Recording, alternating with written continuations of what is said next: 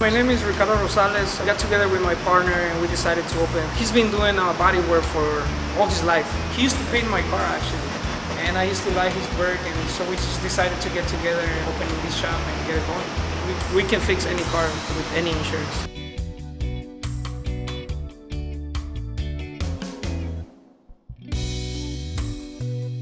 Chariot is a really nice app, you know, so people can see what upgrades they do into their cars and which shops, which facilities they actually focus in different areas of the car so people can see exactly what it can be done to your car.